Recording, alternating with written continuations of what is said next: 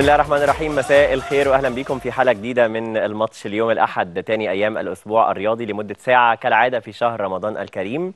هنكون موجودين معاكم لمتابعة كل ما حدث ويحدث وسيحدث رياضيا. وإحنا في ليلة مهمة جدا هي ليلة قمة جديدة من قمم الكرة المصرية. الأهلي والزمالك بعد أيام قليلة ممكن تكون ما عدتش شهر من مواجهة جمعت بين الفريقين. فاز فيها الأهلي على الزمالك يلتقي الفريقان من جديد. هذه المرة في جولة مش متقدمة ولا متأخرة في جولة في موعدها الطبيعي على غير العادة في الكرة المصرية. الأهلي باحث عن انتصار وهو نفس الحال بالنسبة للزمالك وكل منهما هدفه واحد في النهاية تحقيق اللقب. اللقب الغائب عن الزمالك بعد سنوات واللقب اللي بيحمله الأهلي خلال السنوات الأخيرة. لكن تحقيق الفوز ده أكيد بيبقى مهم جدا في حالة اللاعبين الفردية وطريقة لعب المدربين رأى كارتيرون إنه نادم على فقدان النقاط الثلاث اللي خسرها في الدور الأول من المباراة أو من الدوري. في الوقت اللي موسيماني بيسعى فيه للفوز بأي طريقة سواء كانت عن طريق ضغط في البداية أو ضغط في وقت متأخر الأهم هو انتصار ثالث شخصي ليه على التوالي في قيادة الأهلي ضد الزمالك. مواجهة هنتكلم عنها بالتفاصيل خلال الدقائق المقبلة. لكن في نفس الجولة اللي بدأت بالأمس ومستمرة النهارده ومكملة معانا لبكرة النهارده اتلعبت أربع مباريات في ليلة رمضانية قوية ومثيرة. أربع مباريات كان الحدث الابرز فيها هو خسارة هي الأثقل في تاريخ نادي بيراميدز منذ تأسيسه أو منذ تحول اسمه من الأسيوطي إلى نادي بيراميدز. لأول مرة في تاريخ نادي بيراميدز يخسر بهذا العدد من الأهداف في مباراة واحدة. خسر 4 2 النهارده من سيراميكا كليوباترا. في وقت كان طلائع الجيش بيكسب فيه غزل المحلة فبيوقف بيه زحفه نحو المربع الذهبي بثلاث أهداف لهدف وتعادلان سلبيان للمصري البورسعيدي والمقصة وإمبي والاتحاد السكندري ضمن نفس لقاءات الجولة. نبدأ بقى من آخر مباراة. سيراميكا كليوباترا أول انتصار للكابتن ضياء السيد المدير الفني لفريق سيراميكا كليوباترا منذ توليه المسؤولية. بعد مباراتين تعادل في المباراتين وكان بالنسبة له أفضل من أني أخسر فيهم مع تذبذب ربما في الأداء مع قدرة على العودة في النتيجة حتى رغم الأداء المتذبذب النهاردة بدأ المباراة أمام بيراميدز بتشكيلة هي الأقوى أو من ضمن أقوى التشكيلات في الدوري المصري الممتاز. وبالتالي أنت كنت داخل على مباراة خطورتها أنك تفقد فيها نقاط جديدة فيستمر تراجعك في جدول الترتيب في ظل انتصارات متتالية للفرق اللي موجودة في نفس مكانك في منتصف الجدول بحثا عن المربع الذهبي. فما كانش هيكون أبدا سهل على أي حد إنه يفقد نقطتين في نقطتين في ثلاث. ففي أقوى مباراة لنادي سيراميكا كليوباترا مع الكابتن ضياء السيد بتيجي النتيجة إيجابية بل وانتصار كاسح بنتيجة أربعة مقابل اثنين بل وبسيناريو مختلف تماما عما كان متوقعا أو عما كان متوقعا في ظل الأداء. الشوط الأول بيراميدز كان هو الأفضل. بيراميدز كان مسيطر. بيراميدز كان بيغالط مدافعي فريق سيراميكا كليوباترا بل وكان أفضل لاعب في فريق سيراميكا كليوباترا هو حارس مرماه وقائده عامر عامر. لحد ما تقدم بيراميدز عن طريق رمضان صبحي. جات له عدة فرص للتسجيل من جديد لكنه أهدرها. فبقت الصورة رايحة ناحية هل يستغل سيراميكا كليوباترا الإهدارات دي ولا يستمر تفوق بيراميدز ويسجل الثاني والثالث طالب لاعبوه بضربة جزاء رفض محمود ناجي الحديث عنها وقال إن البار ما قاليش حاجة. وهنا تبدأ رحلة العودة التاريخية لفريق سيراميكا كليوباترا. وفي ظرف ثلاث دقايق كان بيتعادل وكان بيتقدم وبعدها دقيقة من الشوط الثاني كان بيسجل الثالث وبعدها بخمس دقايق تانية كان بيسجل الرابع علشان يصعب المأمورية تماما على بيراميدز اللي عجز عن هز الشباك إلا في مرة واحدة لم تكن كفيلة لحصد أي نقطة بالنسبة لفريق بيراميدز اللي عاد لمشوار الخسائر مرة تانية. بعدما كان قد استفاق بالفوز على وادي دجلة. فوز مهم جدا لكتيبة الكابتن ضياء السيد وانتصار مهم جدا يرجعه من جديد إلى منافسة الفرق على المربع الذهبي وثلاث نقاط بتضاف إلى 27 ليصل إلى النقطة رقم 30. معانا على التليفون نجم هذه المباراة لأنه هو من أصر على بعض اللاعبين وهو من واصل فريقه الضغط رغم التأخر ورغم إنه كان مضغوطا فاقتنص ثلاث نقاط. الكابتن ضياء السيد المدير الفني للفريق سيراميك كليوباترا. كابتن ضياء أهلا بيك. مليون مبروك أول فوز ليك في قيادة سيراميك كليوباترا. ربنا يخليك يا هاني. مبروك لسيراميكا إدارة و... ولاعيبه و- وقناة كمان. أكيد. آه طبعا. الحمد لله طبعا. آه، ماتش ماتش يعتبر نتيجة كبيرة وماتش كبير مع فرقة كبيرة فيعتبر مكسب كويس. الحمد آه خليني أبدأ من من ال- من ورا من قبل المباراة ما تنطلق. تعادلين بعديها بتدخل على أقوى مباراة مباراة أقوى على مستوى القوائم يعني من المباراتين اللي تعادلت فيهم. فأنت داخل في احتمالات ربما تكون أكترها هي خسارة. فأنت داخل إزاي المباراة؟ مركز في إيه؟ اشتغلت على إيه علشان ما تبقاش فقدان نقاط جديد؟ ولا ثلاثة ولا اتنين فخدت الثلاثة في النهاية. هو بص أنت عارف إن أنا يعني من خلال تحليلي معاك يا هاني عارف بعض النقاط. امم فالنقاط دي أنا بشتغل عليها من أول ما مسكت وهي عملية التنظيم الدفاعي تمام عملية تنظيم الدفاع بشكل كبير جدا اللي أنا مبسوط بيهم جدا جدا مم. خلال الثلاث ماتشات حتى بعد ما تعادلنا الماتشين اللي فاتوا مم. وأنا بقول لهم أنا مبسوط بيكم وبتنظيمكم وإن أنتم متجاوبين بشكل كبير جدا أنا مم. طول. كل يوم في تمرين تخصصي للديفنس بس معايا أنا شخصيا تمام طول الوقت مم. فأنا بحاول أنت عارف أنا لا أملك الوقت مظبوط في 11 يوم ثلاث ماتشات ولسه جاي وطبعا تاني وتالت بشكر هيثم إنه ساب الفرقة في مكان كويس وساب شغل كويس أقدر أبني عليه بشكل كويس. امم فأنا اشتغلت على النقطة دي النقطة دي لأنه ابتديت أفهم الناس اللعيبة إن إحنا عندنا لعيبة كويسة قدام بس مم. مهم جدا إن إحنا ندافع كويس.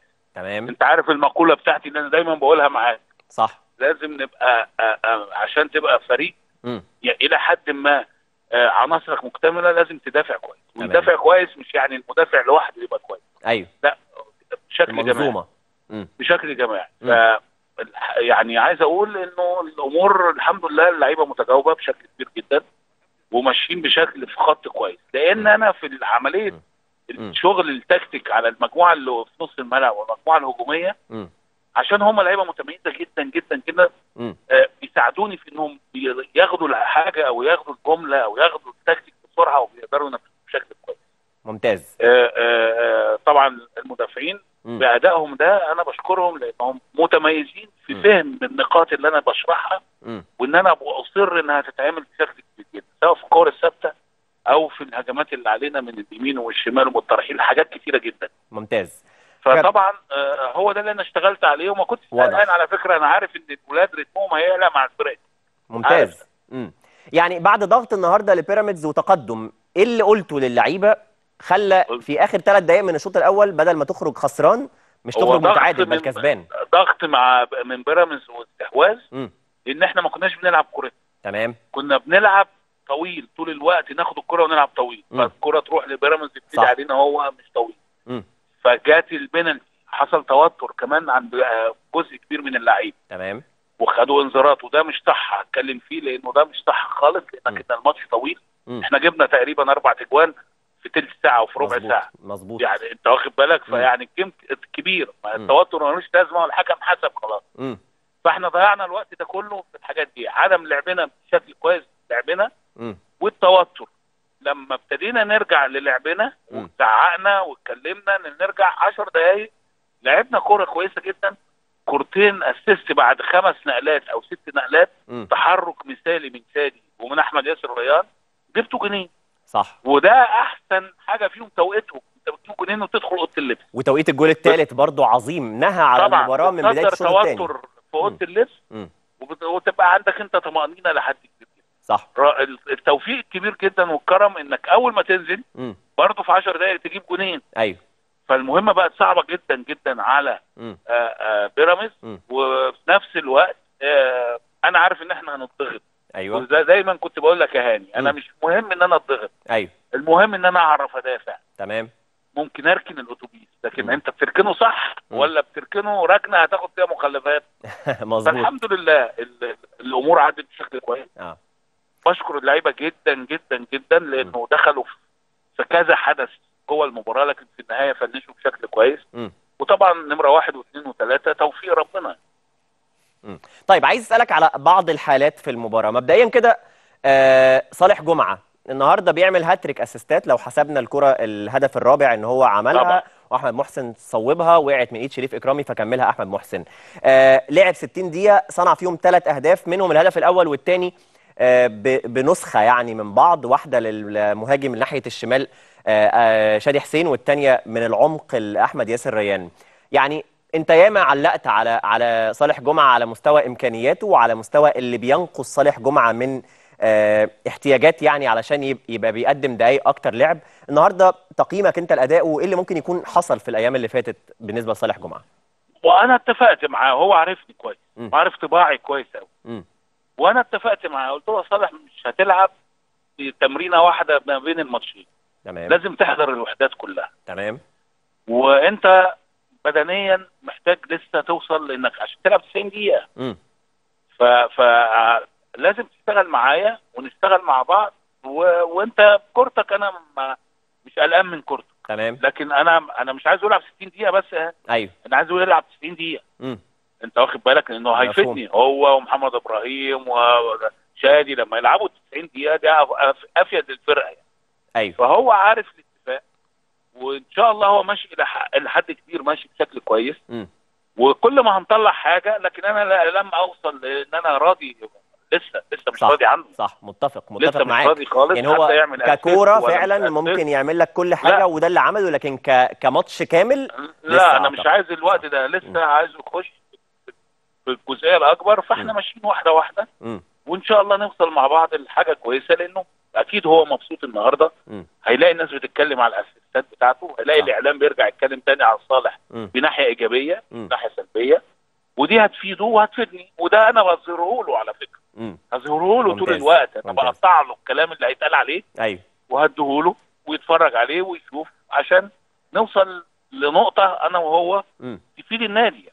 تمام. بالكلام عن ركنة الأتوبيس بعد التقدم بأربعة لهدف فده في أول 10 دقائق من الشوط الثاني وبالتالي بقيت متقبل إنك تستقبل ضغط متوقع وحصل بالنسبة لفريق بيراميدز. إزاي اشتغلت على إفساد أسلحة بيراميدز؟ بتكلم على عبد الله السعيد إنه ما يمولش جون أنتوي أو دودو. الجباس أو غيره من اللاعبين.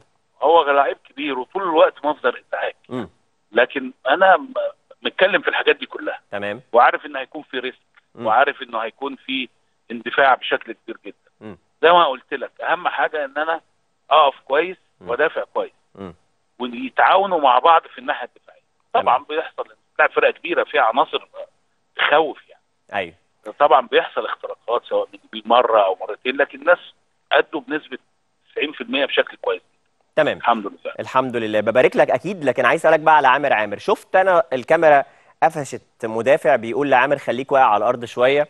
شفنا نقاش ما بين كابتن عصام الحضري وعامر فهل دي كانت تعليمات ولا إن لا، لا، في. إهدار وقت؟ وخد خد. إنذار في النهاية. لا أنا أنا ضد ده.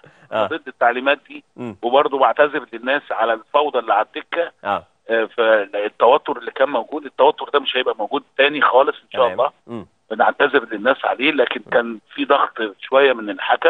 آه، آه، اللي أنا بشكره على سعة صدره يعني. ما أنا ما أعرفش لحد دلوقتي القرارات كان إيه اللي حصل أصلا التوتر كان ليه على ضربة الجزاء وعلى الفار وكل لعبة اللي بيراميدز بيروح للفار وإحنا ما بيروحش. يعني الكلام كله مم. لا طائله منه تمام أنا أنا يهمني إن أنا أركز بلعبتي مم. في, في الجيم مم. أنت واخد بالك تمام. أنا عايز أكتر دقائق لعب كورة تبقى في الملعب مفهوم لكن ما كانش في تعليمات آه، تمام عامر فعلا من امبارح مش شاده صغيرة لكن ده ما يمنعش إنه ممكن يكون طول فيها في وأنا الخلفية؟ بوعدكم إنه مش هيتكرر تاني آه. بإذن الله. بإذن الله. طيب آه بتبني بثلاث نقاط للي جاي واللي جاي ماتشات متتالية وماتشات قوية أهمها لا، أو أولها. سموحة. آه إزاي بتستعد؟ ما- ما تلحق. أنا بقول لهم الحقوا هاتوا لل- للولاد المكافآت عشان عندنا ماتش مهم هنبتدي نركز فيه.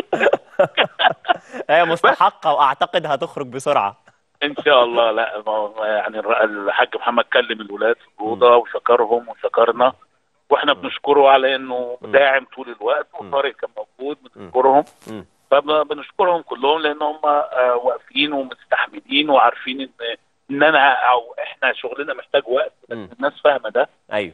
يعني متفهمة ده. وإن شاء الله النتائج آه، تبقى بسرعة كويسة بإذن الله. طيب. آه وقت إعلان حامل أو حكم اللوحة الحكم الرابع عن 10 دقائق كان بالصدفة الكاميرا في ظهرك فجابتك وأنت حاطط إيديك على رأسك كابتن ضياء واللي هو 10 دقائق ده ماتش تاني يعني. ما أنا بمثل بمثل إن الوقت كبير قوي مش لازم آخد لقطة كلنا. كلنا حسينا بالصدمة يعني اللي كنت فيها لما شفت الرقم.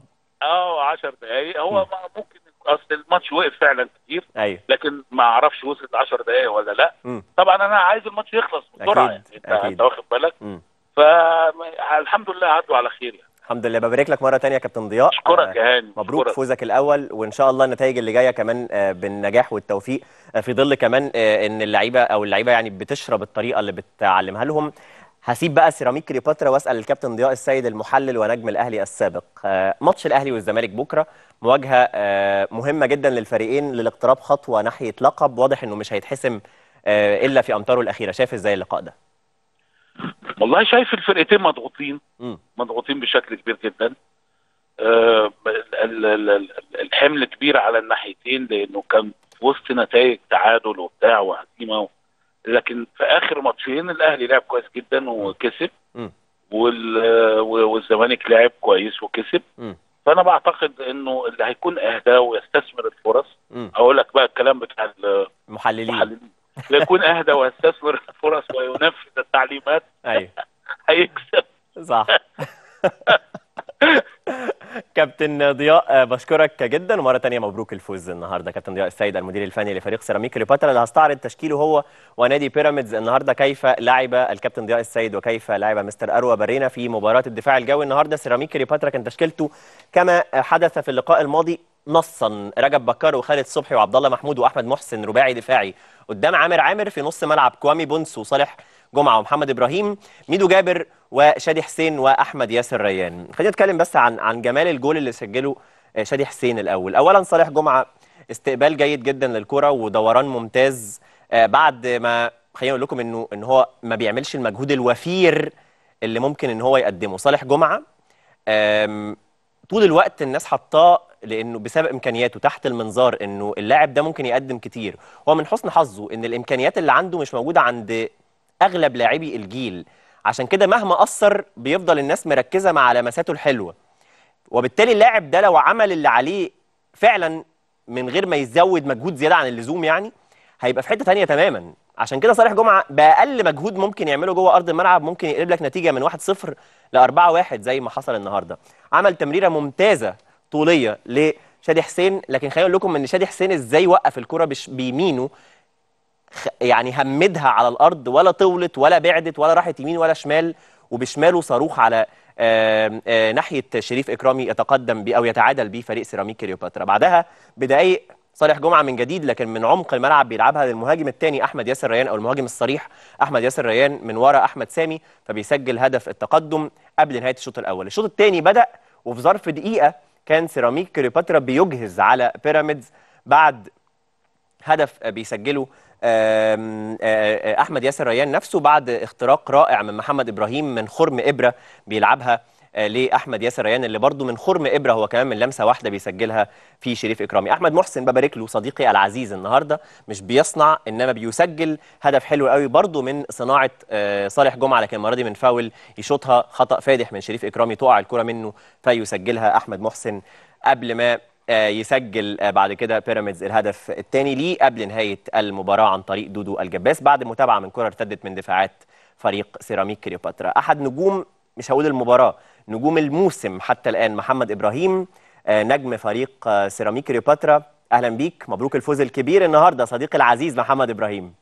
هاني حبيبي عامل إيه؟ أخبارك إيه طيب وأنت طيب رمضان كريم وعيد سعيد عليك يا رب طبعا ربنا يخليك يا رب وبهني الأمة العربية كلها بالعيد وإن شاء الله يكون سنة يعني يكون خير عليهم بإذن الله على الناس كلها بإذن الله. يا رب وبدايات آه، ال- ممكن نقول ليلة القدر مثلا أو بدايات الاحتفال بالعيد بتفوزوا النهارده فوز. مهم جدا وعودة للانتصارات وبتعمل أسيست حلو قوي بيقضي على المباراة محمد إبراهيم بص يا هاني طبعا آه، الأول احب ابارك لكل الناس اللي تعبت عن الفترة اللي فاتت تعبنا قوي كان في سوء حظ غير طبيعي. مم.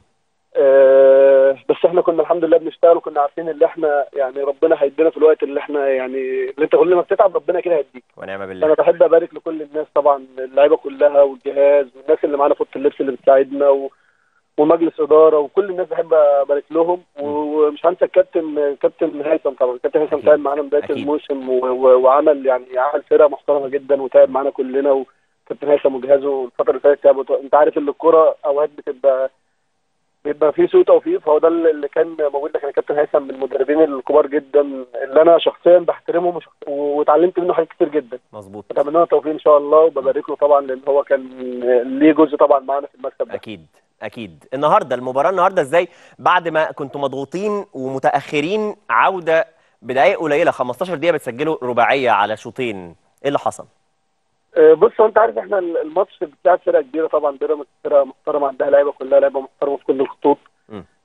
فاحنا وإحنا كنا عايزين نكسب لأن إحنا لو كنا قدر الله كنا خسرنا كنا هنبعد شوية عن. المنافسة لأن إحنا انت عارف إحنا باصين لحتة كويسة بس إن إحنا نبقى في المربع إن شاء الله. فلو كنا قدر الله خسرنا كان هيبقى الموضوع بعيد شوية. أيوة. فانت عارف أول أول ماتش كده اتخطفنا ببلانتي آه، يعني ودخل جون فينا فده اللي وتر الدنيا شوية. ولكن الحمد لله برضه اللعيبة اللي موجودة عندنا لعيبة كبيرة. في كل خط الحمد لله اللي موجودين في السكور واللي في الملعب واللي بره واللي بره قاعدين في بيوتهم كلهم الحمد لله كلهم لعيبة كبيرة. فالحمد لله قدرنا إن إحنا نسيطر ونرجع تاني. وكان في توفيق من ربنا كبير الحمد لله. أنا هكلمك عنك أنت عن محمد إبراهيم مش بس على الأسيست اللي عملته هتكلم بشكل عام على الموسم لأن شايف إن ممكن تكون مش واخد حقك من اللي أنت عامله. لكن أنا هشوف إيه هسألك إيه اللي عمله محمد إبراهيم مخليه نهايات الموسم اللي فات والموسم ده آه، بالشكل ده ما شاء الله من الناحية الفنية ودي كلنا فاهمينها لكن كمان من الناحية البدنية. بنوصل للدقيقه 90 من كل اللقاءات بنلاقيك بتعمل سبرنتات ما شاء الله ممتازة بتساعد بيها الزملاء يعني. بتفتح بيها أو بتعمل اسيستات فمحمد إبراهيم عمل إيه؟ عمل إيه الموسمين نهاية الموسم اللي فات والموسم ده مخليه ما شاء الله بالشكل اللي هو فيه دلوقتي؟ لا والله يعني هو بس الفكرة كلها الحمد لله الواحد يعني الحمد لله طول عمري بشتغل وب- وبتابع ربنا كويس في شغل. انت عارف ده في الآخر في الأول ده شغل وطول ما بتتعب ربنا بيديك. آه، اشتغلت على نفسي وتعبت أكتر. آه، ربنا اداني الحمد لله. فهو ده اللي أنا عملته. ما عملتش غير اللي أنا اشتغلت وما سبتش حال الظروف. فربنا الحمد لله يعني كرمني وكلل ده بال- بالمجهود ده. وطبعا ده مش لوحدي الحمد لله معايا زمايلي كلهم بيساعدوني في الملعب. أيوه. زي ما بقول لحضرتك يعني الفرقة كلها ما فيش حد بيبخل بأي حاجة. أيوه. وده اللي إحنا متفقين عليه وده اللي إحنا شغالين عليه. أكيد. ومش عاوز يعني هاني إحنا مش عاوزين بس ان يعني أنا عارف الفرقة كلها الحمد لله اتبسطنا النهارده وفرحنا. واللعيبة كلها لعيبة كبيرة فعارفة إن ده مكسب. في الدوري بثلاث نقط زي أي ماتش. أيوة. وده المهم اللي لازم اللعيبة تكسبه أكيد. طيب. بالنسبة لنا بثلاث نقط يعني. عايز أسألك آه، يعني عن عن عن عنك أنت برضو فيما يخص ال- المباراة النهارده وفيما يخص مشوارك بشكل عام. أنت يا هيما النهارده آه، شايفينك ال- المجهود اللي عامله وشايفين نتيجة بتتحقق آه، في مواجهة كمان نجوم زميلتهم ونجوم واجهتهم كتير. أنت شايف إزاي اللي جاي؟ شايف إزاي النتائج ال- المنتظرة أو الطموح بيوصل لحد فين؟ بص أنا زي ما قلت لك إحنا من أول يوم قعدت مع الحاج محمد م. الحاج محمد طبعا النهارده طبعا بشكره إن هو كلمنا بعد الماتش وبارك من الفرقه كلها. والفرقه كان معانا. طبعا بشكره برضه لأن أنت عارف ده بيبقى مهم للناس تبقى في ظهرك. ده صح. حاجة مهمة. م. فانا بشكرهم طبعا النهارده. آه، بص يعني أنت عارف إحنا ال- ال- الدوري كل الماتشات صعبة والماتشات اللي جاية بالذات. كل الفرق هتلاعب كل الفرق كل فرقة عاوز ثلاث نقط. أيوه. فإحنا عندنا طموح. الفرق اللعيبة كلها عندها طموح اللي هي تفنش في حتة كويسة. ان أنا من أنا واحد شخصيا من أول يوم قعدت فيه مع مستر محمد مستر محمد أبو عينين كان كان كان عنده هدف. أنا. رقم واحد. وإحنا الحمد لله الفرقه كل الناس اللي جت هي عندها نفس الهدف. اللي. إحنا نوصل لحتة كويسة. وده مش هيجي من الكلام مش هيجي من من فراغ. معانا كابتن ضياء والكابتن عادل والكابتن عصام الناس كلها. شغالين وإحنا بنشتغل وهنتعب عشان نوصل لهدفنا. لازم تتعب. قوي عشان توصل للي أنت عاوزه. تمام. والحمد لله أنت اللعيبة كلها مش مقصرة في دي. فده أهم حاجة يعني. ببارك لك على مباراة النهارده وعلى موسمك بشكل عام. وبالتوفيق إن شاء الله كابتن محمد إبراهيم. نجم فريق سيراميكا كليوباترا بعد الفوز على بيراميدز بنتيجة 4-2 مباراة بقى الأهلي والزمالك هنروح لها لكن الأول أستعرض سريعا تشكيل بيراميدز آه، اللي لعب بيه النهارده أروى بارينا عشان نتكلم بقى على لقاء الأهلي والزمالك غدا سريعا. أقول لكم إن شريف إكرامي هو اللي حرس المرمى قدامه ثلاثي في قلب الدفاع أحمد فتحي وأحمد سامي وأحمد أيمن منصور محمد حمدي وأحمد توفيق.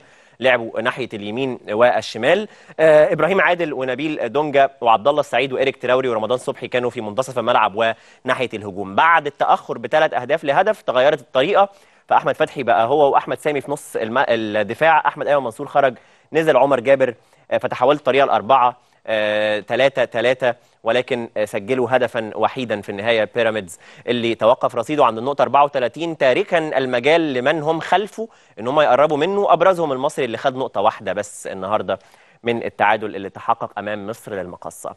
غدا مباراة بتحكيم مصري قمة جديدة بحكام مصريين وطاقم التحكيم أعلنه اتحاد الكرة النهارده بقيادة الكابتن أمين عمر كما ذكرنا إنه كان من المرشحين لقيادة هذه المباراة. آه، بشكل فيه تنافس ما بينه وما بين الكابتن إبراهيم نور الدين ولكن كفة الكابتن أمين عمر هي اللي رجحت في النهاية لأنه لم يدر من قبل لقاء آه، قمة. فيعاونه يوسف البساطي هاني عبد الفتاح حكم رابع أحمد الغندور محمود عاشور حكم فيديو محمود بسيوني مساعد حكم فيديو. لماذا عين محمود عاشور؟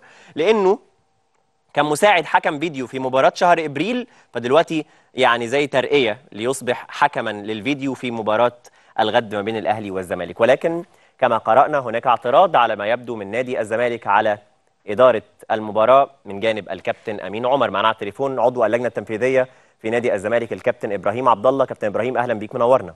إزيك يا كابتن هاني؟ أخبارك إيه؟ بخير الحمد لله. كل سنة وأنت بخير. وأنت بالصحة والسلامة ومشاهدينك بكل خير ورمضان كريم. الله أكرم وعيد شهر. الكريم جري مننا أهو. جري مننا فعلا. آه، بكرة مباراة قمة جديدة. آه، وعايز أسألك هبدا الأول بالتحكيم لأن قرأت تصريح للأستاذ علاء الدرديري المتحدث باسم الزمالك هل معترضين على عمرو الدرديري. عمرو عفوا عمرو الدرديري. آه، هل آه، متضايقين من من إسناد المباراة للكابتن أمين عمر؟ لا هي حكاية إن إحنا مش متضايقين بس هو بس أنا أنا بيتهيألي هو في خناقة ما بين الكابتن أحمد وجيه و... والكابتن أمين عمر. كابتن وجيه أحمد. وجيه أحمد خناقة إيه دي؟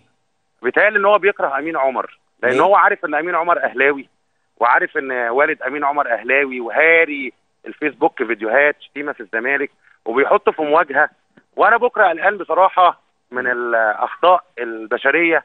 اللي بتصير في اتجاه واحد ضد الزمالك. وكمان عايز أقول له يعني يا ريت بكرة ما يتقلش في الفطار ويبقى خفيف ويبقى جنب الكورة ويبقى السماعة في ودنه عشان يشوف الفار.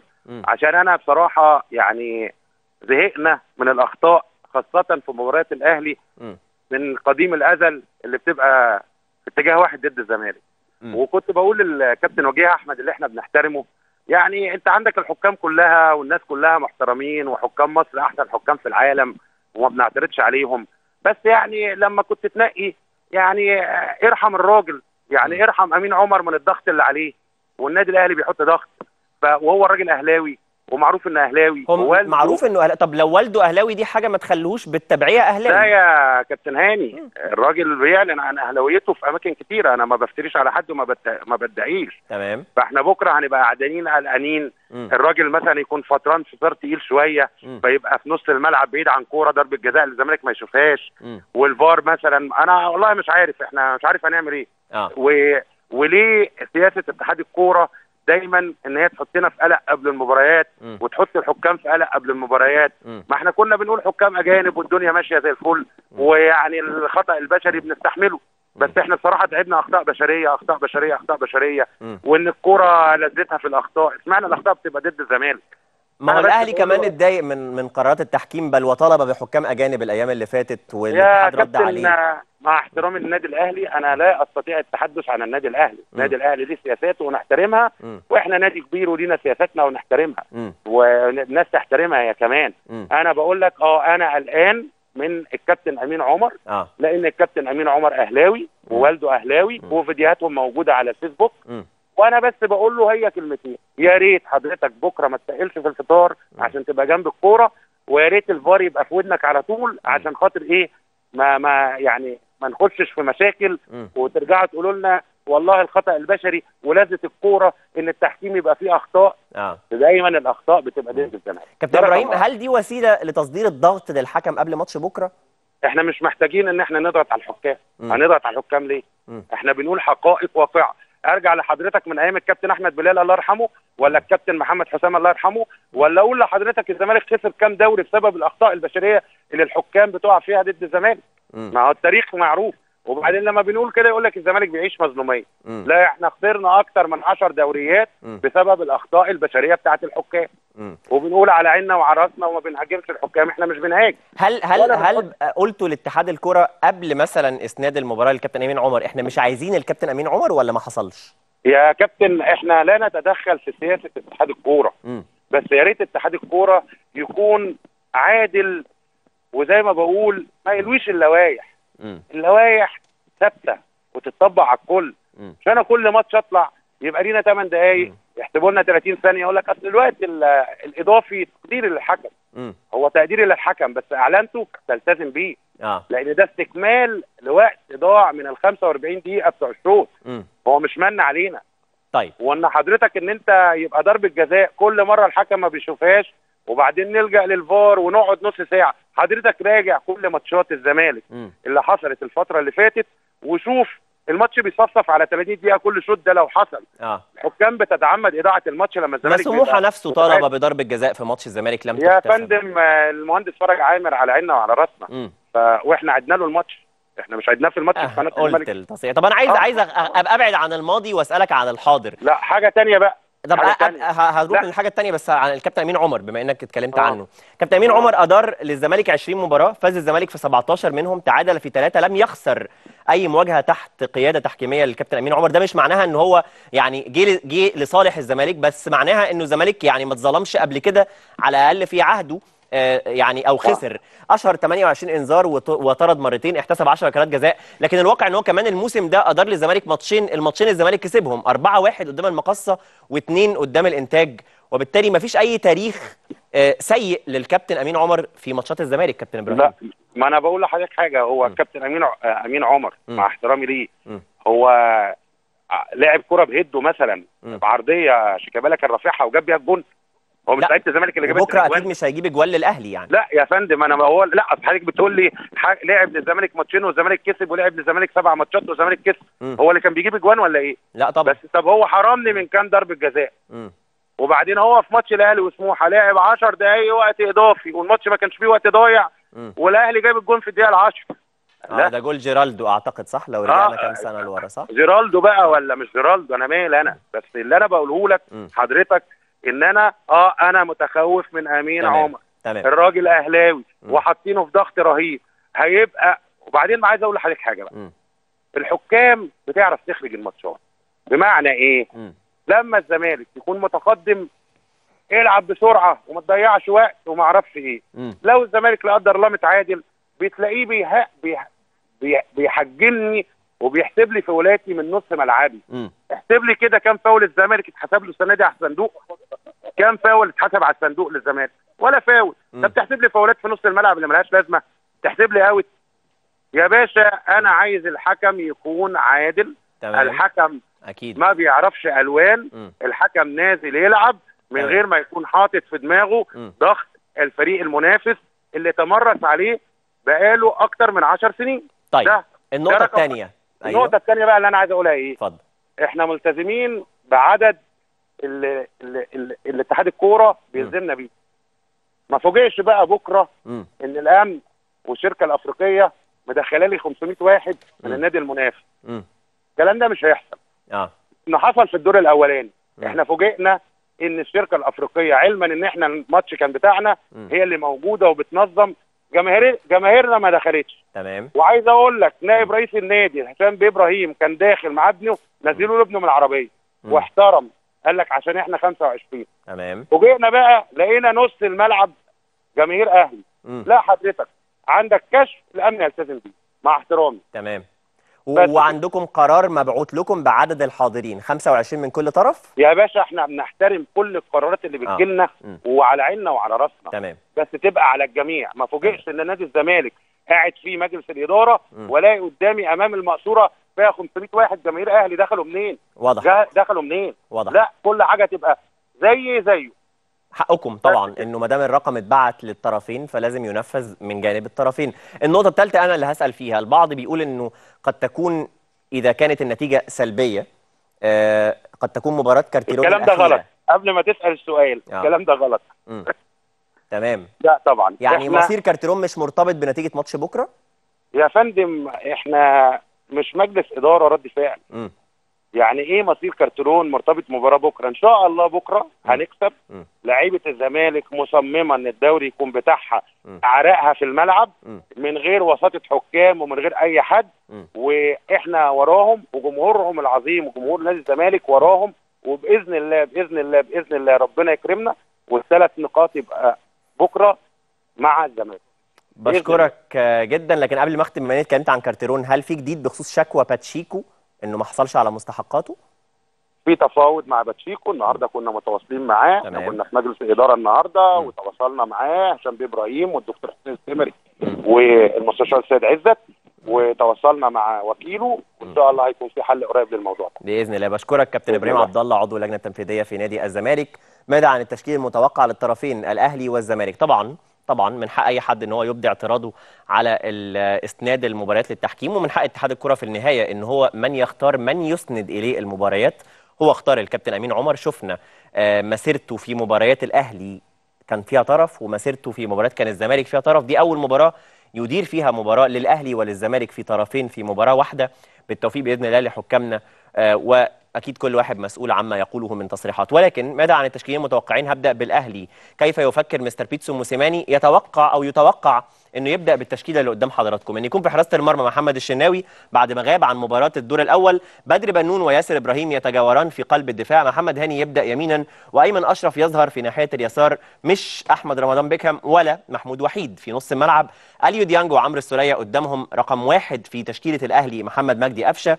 حسين الشحات ناحية اليمين مفاضلة ما بين طاهر محمد طاهر وكهربا ناحية الجناح الأيسر وفي المقدمة محمد شريف مع احتمالات بسيطة إن يكون بواليا هو اللي يبدأ. أما الزمالك فتشكيلته المتوقعة هتكون استمرار محمد عواد في حراسة المرمى للماتش الثالث على التوالي قدامه الونش ومحمود علاء المسدوسي يمينا ومحمد عبد الشافي يسارا قلب الملعب طارق حامد وفرجاني ساسي وقدامهم يوسف أوباما. ناحية اليمين يبدأ شيكابالا اللي مسجل هدفين في آخر مباراتين ضد الأهلي. وناحيه اليسار بن شرقي وفي المقدمة متوقع انه يبدأ بحميد أحداد مهاجما أساسيا للفريق الأبيض في قمة منتظرة مرتقبة نتمناها جيدة بإذن الله. وتاني بقول إن اللي هيكسبها مش هيحسم الدوري إنما ممكن يقرب خطوة نفسية ومعنوية وأكيد على مستوى ترتيبه في جدول المسابقات. بعض الأرقام عن قمة الغد بعد الفاصل نكمل معاكم في الماتش. خليكم معانا. We'll be.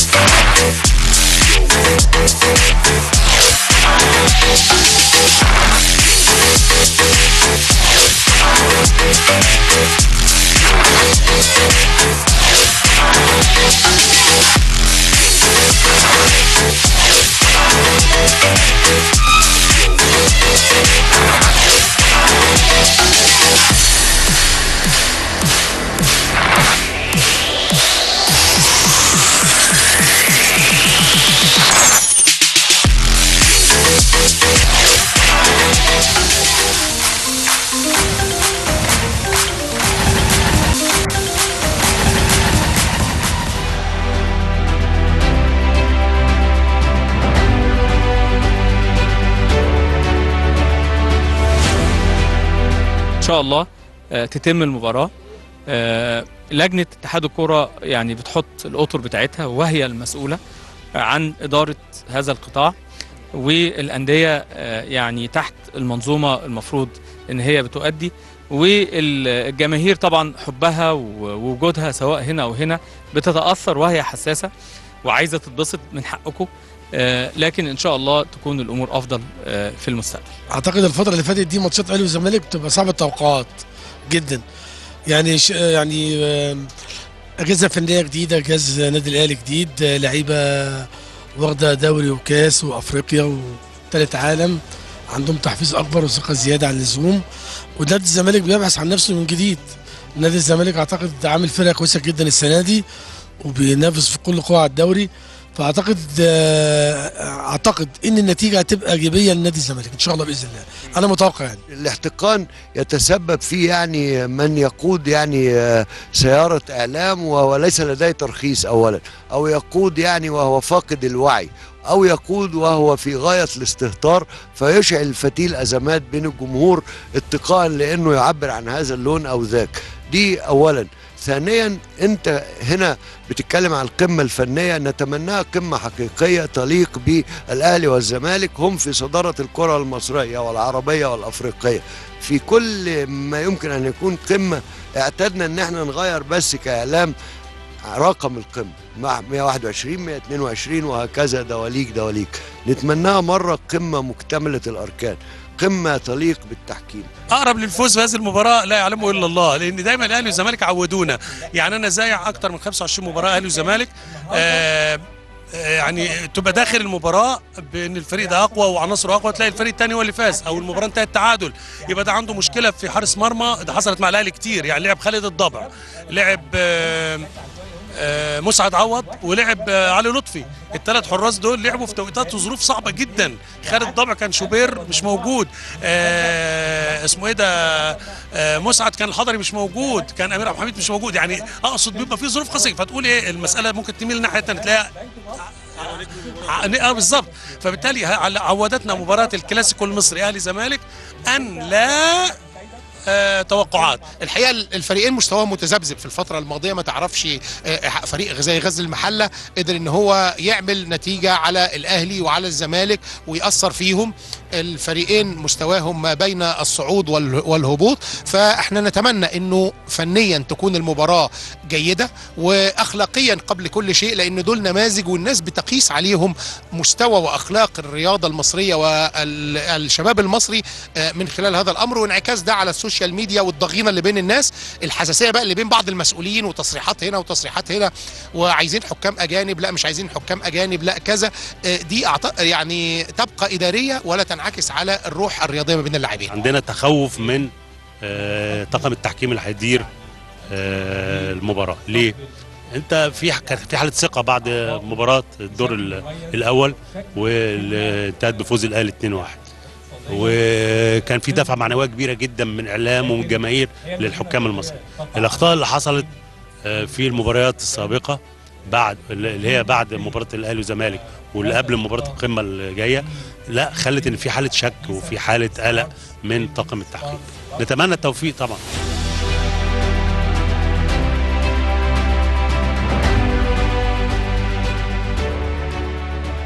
أهلا بكم مرة تانية النهارده. اختتم الأهلي آه، تدريباته آه، في التتش واستكمل معسكره في فندق جديد. يكون أقرب من استاد القاهرة عشان يكون في الموعد بعيدا عن أي ضغوطات في الوقت اللي الزمالك كان معسكر من امبارح ومباراة قمة منتظرة. هنسأل برضو نجمنا اللي معانا على التليفون عنها لكن بعد ما نحييه ونبارك له على هاتريك أسيستات عملها النهارده صالح جمعة نجم سيراميك كليوباترا بعد الفوز بأربعة أهداف على بيراميدز مقابل هدفين. كابتن صالح أهلا بيك. منورنا. أهلا بيك يا هاني. أخبارك إيه؟ مبروك الفوز مبروك أدائك مبروك النتيجة مبروك ال assists ات اللي عملتها. الله يبارك فيك طبعا. أول حاجة الحمد لله طبعا على المكسب. آه، تاني حاجة طبعا كل سنة وأنت طيب وكل السادة المشاهدين بخير. معايا؟ معاك يا هاني. آه النهارده بكلمك عن عن يعني ما شاء الله في ظرف ثلاث دقائق كنت بتعمل assist ين تمريرتين سم بتحط بيهم المهاجم في مواجهة شريف إكرامي فبدل ما تخرج مغلوب بتخرج كسبان الشوط الأول وبعدها الشوط الثاني كمان بتكمل بفاول تاريخي يعني اتعمل بذكاء شديد بربط مع أحمد محسن. فببارك لك على الثلاث أسيستات اللي عملتها النهارده. فعايز أسألك على رأيك إيه اللي أنت عملته النهارده وتقييمك لنفسك؟ طبعا في البداية آه، الحمد لله على المكسب النهارده. هاني يمكن إحنا كنا آه، آخر مباراتين ما كانش فيه توفيق بشكل كبير. كنا محتاجين مباراة كبيرة زي مباراة بيراميدز آه، بحيث إن هي تحطنا في الجدول بشكل كويس. آه، اتكلمت معاهم النهارده مع اللعيبة قبل ما- نخوض المباراة طبعا. مم. في ان في ان نادي سيراميكا كليوباترا آه، بيمتلك آه، لعيبة يا هاني ما تقلش على لعيبة الأهلي والزمالك وبيراميدز خالص. أيوه. من بداية من حراسة المرمى لحد آه، ال striker بتاعنا كل اللعيبة لعبه أهلي وزمالك ولاعيبه كبيرة ولاعيبه تقدر تلعب ماتشات كبيرة. والنهاردة اتكلمنا في إن المباراه زي دي هي اللي هتبين قيمة وشخصية اللعيبة اللي موجودة في النادي مم. دي حاجة تاني حاجة طبعا يمكن آه، إحنا بنشكر آه، سيادة النائب الحاج محمد أبو العينين طبعا على ال- إن هو موفر لنا كل حاجة بمنتهى الأمانة يعني يعني مفيش م. حاجة ناقصانا آه، دايما دايما في ظهر ال- الفريق في ظهر النادي م. مستر معتز البطاوي طبعا طارق أبو العينين مستر طارق طبعا م. الناس بصراحة هاني مش مقصرين معانا في حاجة م. بنتمرن في ملعب كويس م. جهاز فني كويس جدا طبعا جهاز إداري محترم. فاحنا مش ناقصنا حاجة. لما. بنقعد كلعيبه نتكلم. إحنا بنشوف إن إحنا مش ناقصنا أي حاجة. آه، إن إحنا نبقى في نص الجدول. لا دايما أيوة. بي- بيبقى طموحنا إن إحنا عايزين نبقى موجود في المربع الذهبي نلعب أفريقيا السنة الجاية طبعا. ف... فأنا حابب أشكر باذن الله. عندنا مباريات آه، جاية على ملعبنا كتير. إن شاء الله نقدر إن إحنا نكسبها بإذن الله. ونقدر ن finish ال season في مكان كويس. يليق باسم النادي وباسم الناس الموجودة والعناصر الموجودة. بنستعرض وأنا بكلمك الثلاث اهداف آه، اللي انت صنعتهم. الكرة لشادي حسين ملعوبة حلوة قوي. هو الحقيقة استلامته ليها كمان عملت النص الثاني من الجول. والكرة الثانية اللي عملتها بس من العمق لأحمد ياسر. والفاول اللي عملته هبدأ معاك بالفاول اللي عملته آه لأحمد محسن. واضح إن هي متفق عليها. الجرية والانطلاقة دي بتاعت أحمد محسن واضح إن في آه ربط طبعا. الج- بص أنا بصراحة كنت في الفاول ال assist الثالث. أنا كنت مركز واتكلمت مع محمد إبراهيم قبل الفاول إن أنا هعملها لمحمد إبراهيم. آه. لكن لكن أحمد محسن فاجئني بال sprint بتاعه من تحت. تمام. بحيث إن هو دخل بطريقة هو كان عايز الكورة بصراحة. أيوه. الحتة دي طبعا. فخد في ظهر ال defense بشكل كويس جدا. آه و finish الكره بشكل كويس. وكان فيها توفيق طبعا كبير بالنسبة لنا. صح بالظبط. وفي الهدفين طبعا التانيين الأول والتاني من كورتين مختلفتين فده ده ده اللي مستنينه منك الناس وده اللي عارفينه عنك وده اللي قاله كابتن بص ضياء يعني عشان. بصراحة عشان كل واحد ياخد حقه أنا آه. أنا لما بلعب في نص الملعب آه أنا ببقى عارف إمكانيات زمايلي بشكل كويس جدا تمام. آه شادي جا شادي آه حسين آه يعني أنا مش هلعب ال long pass ده من المكان ده آه إلا وأنا عارف إن هو سريع جدا. عارف إن ال control بتاعه عالي جدا. عارف إن هو بي finish بشكل كويس جدا آه نفس الكلام طبعا آه ال assist الثاني بتاع أحمد ياسر ريان أيوه الراجل بصراحة يعني تحرك محترم جدا من مهاجم واعد. آه شايف إن هو يعني هيفيد النادي الأهلي بشكل كبير وهيفيد المنتخب. بشكل كبير جدا طبعا. قدر إن هو ينزل لي وياخد لنفسه مساحة ويلف تاني طبعا فهو مش صالح بس هو. زمايلي بيسهلوا عليا اللعب بشكل. في الملعب بصراحة من خط ال defense ال- لحد الاسترايكر آه، لعيبة محترمة لعيبة عندها إمكانيات. تمسك الكورة ومش مجرد فرقة صغيرة طالعة من تحت ف فلا إحنا إحنا آه، بينا في ماتشات كتيرة وماتشات كبيرة مباراة بيراميدز الدور الأول خسرناها 1-0 لكن صح. لكن 90 دقيقة كنا ماسكين المباراة ما كانش في مم. توفيق. آه، إحنا مش قلقانين خالص طالما بنلعب كورة كويسة وكورة محترمة طبعا. آه، إحنا مش قلقانين خالص من النتيجة دي بتاعت ربنا طبعا و... وإن شاء الله بإذن الله زي ما قلت لك يعني إحنا عندنا طموح آه، كبير جدا مش مش كلام بس إحنا أيوة. فعلا عندنا طموح. ولما بنتعادل مباراة أو بنخسر مباراة مش فرقة طالعة من من من ممتاز لا ده فرقة صح ولاعيبه بتبقى زعلانة جدا وبنقعد نكلم بعض وإن إحنا ما ينفعش نبقى في الموقف ده. فأنا متفائل إن شاء الله الفترة الجاية بال... باللاعيبه دي كابتن ضياء السيد وأنا بسأله على الأسيستات اللي عملتها النهارده قال لي ككورة ده العادي بتاع صالح جمعة لكن ك... كبدني لسه مستني منه أنا مستني منه إنه يلعب 90 دقيقة بشكل متواصل وده شغل أنا حاطه مع صالح جمعة وأعتقد إنه هيتنفذ قريب هو هاني آه، كابتن ضياء آه، لما تولى المسؤولية طبعا مم. أنا كنت آه، مصاب طبعا قعدت ثلاث أسابيع بعيد عن التدريب مم. رجعت بعد المباراة اللي فاتت آه، مباراة المقاولين العرب. فأنا ما اتمرنتش غير تمرينين فقط قبل مباراة المقاولين وقبل مباراة آه، آه، بيراميدز. أيوه. كان عندي مشكلة في رجليا. بس أنا بس أنا بجد لما ببعد يعني أنا حاسس دلوقتي في سيراميك كابتن لما ببعد وببقى زعلان جدا. بحس إن الفرقة محتاجاني. بحس إن أنا لأ لازم أدوس على نفسي. تمام. وبروح لدكتور واثنين و- ومركز جدا إن أنا أبقى موجود مع الفرقة لأن أنا لأن الفرقة محتاجة كل اللعيبة بالذات اللعيبة الكبيرة اللي موجودة في الفرقة. الفرقة محتاجة كل اللعيبة دي مم. فأنا في, في نادي سيراميك كليوب- كليوباترا أنا من نفسي بتحمل مسؤولية. وحاسس إن أنا عليا مسؤولية كبيرة جدا من الإدارة ومن الجهاز الفني لأن هم بيعتبروا النهارده عامر عامر وصالح جمعة ومحمد إبراهيم صح ورجب بكار وأحمد ياسر ريان وشادي كل الناس دي من الناس الكبيرة اللي في الفرقة فلازم تشيل الفرقة مم. فما ينفعش إن أنا أبقى بعيد أو إن أنا أبقى أقصر ولا الكلام ده كله. والنهارده الحمد لله حتى كنت حاسس بوجع قبل المباراة بس ما أيوه كانش ينفع إن أنا اغيب على الفرقة بشكل آه، في ماتش كبير زي ده وفي الظروف اللي إحنا فيها دي مم. فالحمد لله يعني حتى خدت حقنه مسكنة قبل المباراة. و... و... و... والواحد بيتحامل على نفسه لأن بصراحة الناس مش مقصرة في حاجة والناس. بتتعامل ب... ب... بطريقة محترمة جدا يعني, يعني. وخرجت بالخلفية آه، طمنا يعني الدنيا تمام الحمد لله خفيفة جدا أنا خفيفة كنت مم. كان ممكن أكمل بس الحمد لله قلت قلت تمام الحمد لله إحنا النتيجة 4 1 مم. ولسه عندنا مباراة كمان خمس أيام عشان الواحد يجهز يجهز المباراة اللي بعدها إن شاء الله. طيب آه، سؤال أخير. بكرة الأهلي والزمالك. أنت نجم أهلي سابق وكنت هدف من أهداف الزمالك السابقة. شايف إزاي الماتش بكرة توقعاتك؟ أنا آه، طبعا أنا بقى يعني الحمد لله إحنا كنا موجودين في الأوتيل مع النادي الأهلي إمبارح. أيوه. آه رحت سلمت على الجهاز الفني كله وكابتن سيد ومستر موسيماني وقعدت مع اللعيبة كلها مع عمرو السولية.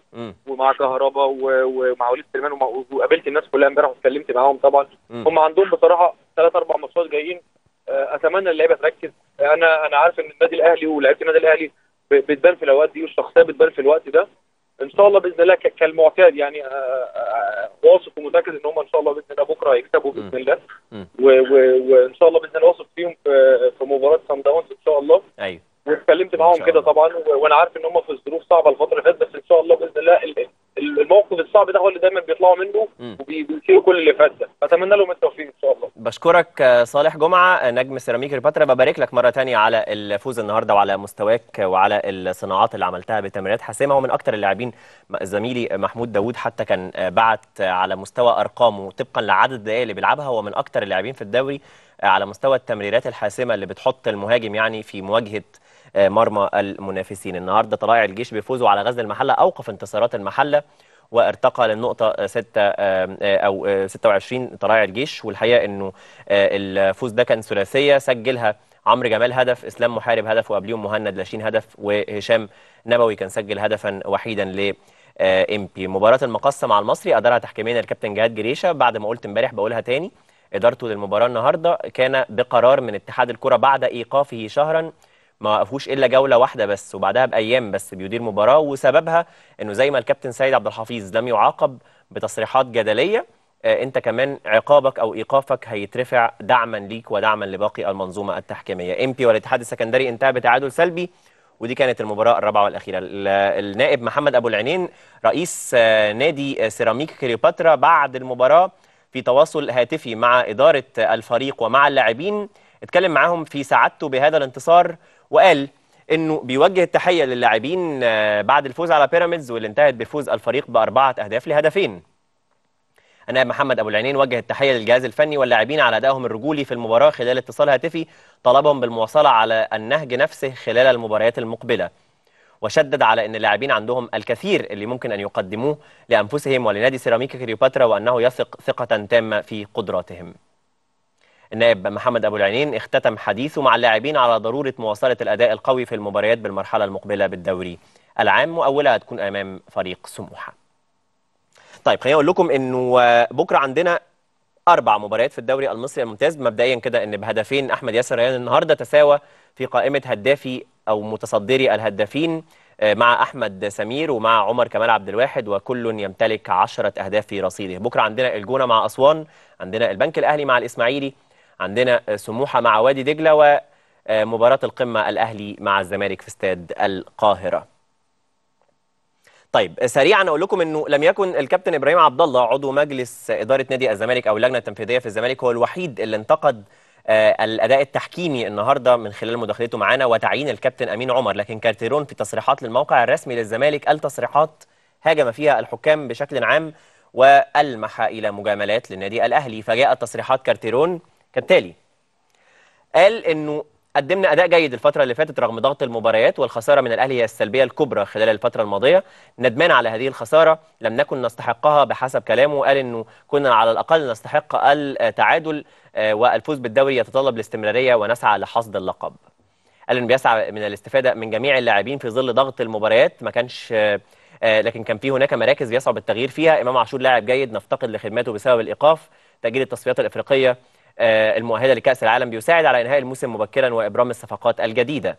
كارتيرون قال ان مفيش أزمة في خوض مباريات الدوري من غير لعيبة المنتخب الأولمبي. ده أكيد تصريح يعجب قوي اتحاد الكره قال إن على الجميع الموافقة على ذلك لإنهاء الدوري مبكرا. الكل بيتكلم عن التحكيم حتى يضعهم تحت الضغط ولسنا مثلهم. كابتن إبراهيم عبد الله وضعهم تحت الضغط النهارده. قال إن ال ال الكل بيشكو من التحكيم. هم يتحدثون مع الحكام هاتفيا ويعتذرون لهم عن أخطائهم. في إشارة أكيد للكلام الجدلي عن الكابتن سيد عبد الحفيظ اللي التحقيق قال إنه ما حصلش قال لا يجب أن يكون هناك حدوث بين أو حديث بين مديري الكرة في الأندية والحكام. قال الأهلي ما تضررش من الحكام المصريين طلبوا تحكيم أجنبي آه، ضجة بدون داعي لا توجد أزمات في جهازي المعاون إحنا في مركب واحد ده كلامه على الكابتن أسامة نبيه نسعى للفوز في اللقاءات المقبلة.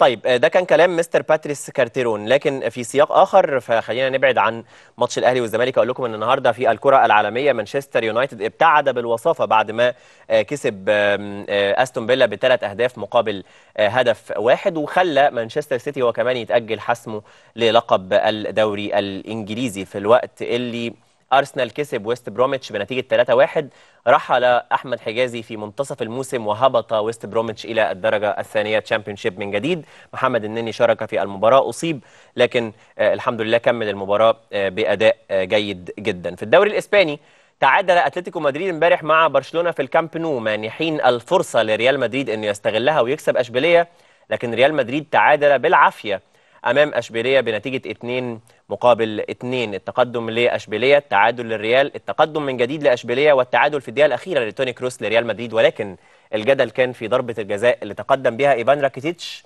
قبل نهاية المباراة بربع ساعة لأشبيلية. كانت ضربة جزاء المفروض ياخدها ريال مدريد بنزيما آه، بعد ما الكرة اتقطعت هجمة مرتدة راوغ ياسين بونو ضربة جزاء بعد عرقلة من الحارس المغربي للمهاجم الفرنسي. راح للفار عشان يتأكد الفار قال له استنى ده الكرة دي أصلا مردودة من ضربة جزاء المفروض لأشبيلية بلمسة يد على ميليتاو. فبدل ما تتحسب ضربة جزاء للريال اتحسبت لأشبيلية وقلبت الدنيا في إسبانيا لولا إن الريال جاب نقطة مهمة في التع... في النهاية. خلت الوضع زي ما هو تعادل هنا وتعادل هنا ولسه السيناريو مستمر على مستوى الصراع.